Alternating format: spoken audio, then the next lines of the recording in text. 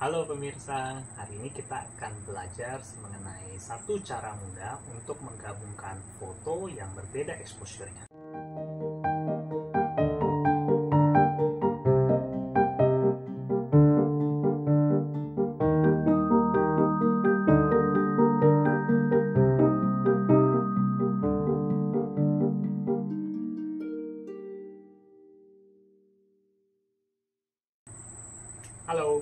Saya William Lee atau biasa dikenal sebagai Nidalap. Pada kesempatan ini saya akan menunjukkan bagaimana caranya kita bisa menggabungkan dua atau beberapa foto yang berbeda exposure-nya di Photoshop. Kita mulai saja. Pertama di sini sudah saya buka program Photoshop. Biasanya yang kita lakukan untuk menggabungkan foto adalah membuka filenya dulu ya. Ini misalnya di sini ada dua buah foto yang akan saya gunakan. Saya buka. Foto pertama itu adalah foto light painting berupa kaligrafi Mandarin. Wi dan foto kedua adalah foto selfie. Kalau diperhatikan kedua foto ini diambil menggunakan tripod tapi sangat jelas terlihat exposure dari latar belakangnya itu berbeda. Nah biasanya cara yang umumnya dilakukan untuk menggabungkan foto itu adalah dengan melakukan masking. Ya. Kita akan coba. Ini adalah cara yang biasa dilakukan. Kita masking, kita berikan masking di sini di layer yang di atas misalnya. Lalu kita gunakan brush yang untuk menonaktifkan pixel yang ada di layer ini sehingga apa yang ada di bawah bisa terlihat. Ini contoh seperti ini.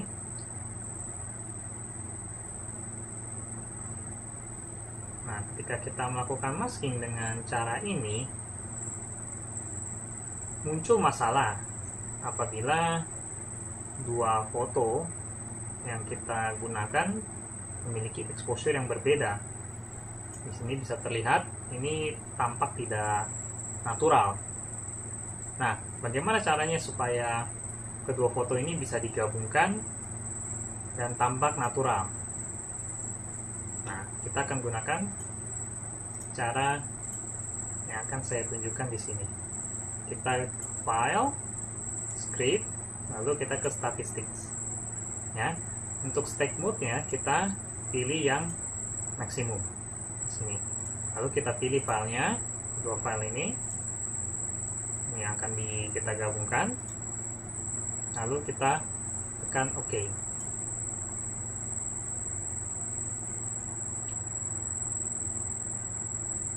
Nah, apa yang akan dilakukan oleh Photoshop di sini adalah dia akan dia akan menggabungkan kedua foto ini berdasarkan nilai exposure yang lebih tinggi. Jadi, pada foto yang lebih gelap pada foto yang lebih gelap di sini kaligrafi Lee ini lebih terang dibandingkan area yang ada di sini sehingga ditampilkan seperti ini. Dan pada latar bangunan maupun pada orang di sini umumnya foto yang di sini lebih terang dibandingkan yang di sini kecuali pada bagian jendela. Kita bisa lihat di sini orangnya akan eh, apa trans, sedikit transparan. Nah tapi hal ini akan jauh lebih mudah untuk di perbaiki dibandingkan dengan menggunakan cara sebelumnya. Kita hanya perlu lakukan copy paste layer yang mau kita tambahkan. Lalu kita gunakan masking di sini di layer yang e, merupakan foto gabungan. Kita gunakan brush untuk menghapus dan memunculkan pixel yang ada di bawah. Nah, keuntungan dari cara ini adalah kita tidak perlu akurat untuk melakukan brushingnya ya cukup disapu-sapu asal-asal seperti ini saja sudah cukup. Dan hasilnya akan tampak cukup rapi.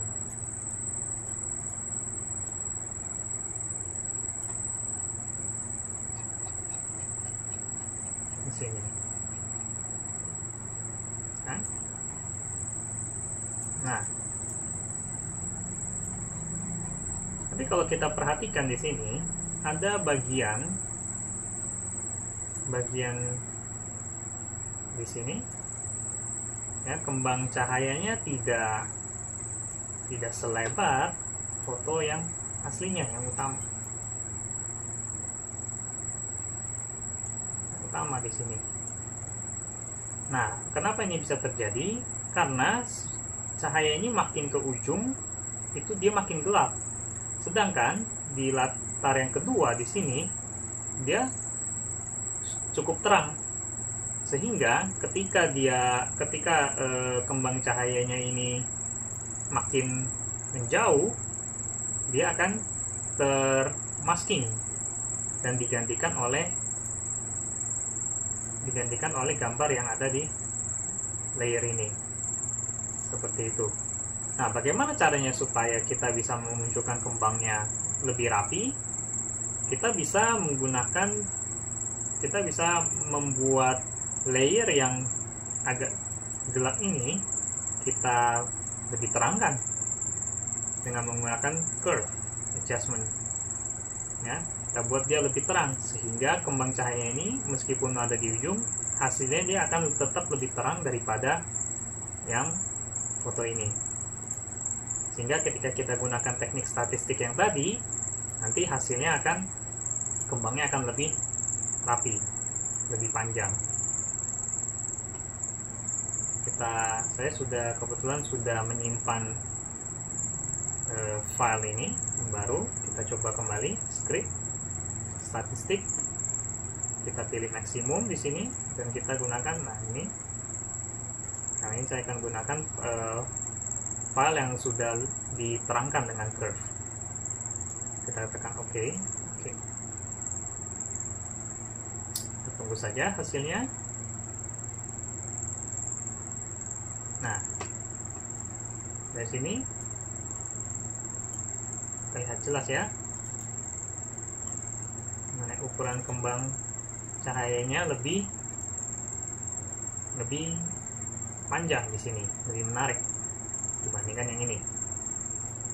Nah untuk masalah orangnya ini yang makin transparan. Ini ya wajar saja karena kali ini background eh, apa kali ini kombinasi layer yang ini dia sudah menjadi lebih terang sehingga pada layer yang ini otomatis akan berkurang ketika digabungkan dengan metode statistik tersebut. Nah untuk memunculkan ini kita gunakan cara yang biasa lagi. Kita copy taruh di bawah kita masking ini dan kita brush. Nah, lagi-lagi kita nggak perlu akurat. Cukup asal-asalan aja seperti ini sudah cukup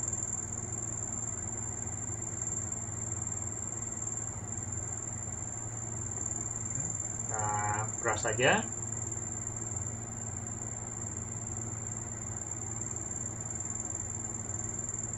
Dan ini akan terlihat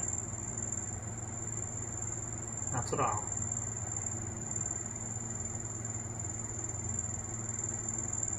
Nah sudah. Kita periksa.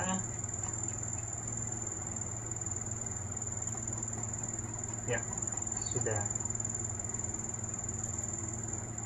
nah ya. Kita coba bandingkan nah dengan dengan memodifikasi sedikit salah satu layer yang berbeda exposure-nya kita bisa mendapatkan hasil yang lebih lebih maksimal dari metode statistik yang kita gunakan. Oke sekian untuk tutorial kali ini. Semoga bermanfaat. Kalau ada pertanyaan silahkan di komen di bawah. Uh, oh ya jangan lupa subscribe ya. Dan oke itu saja saya pikir untuk kali ini. Sampai jumpa di kesempatan berikutnya. Bye bye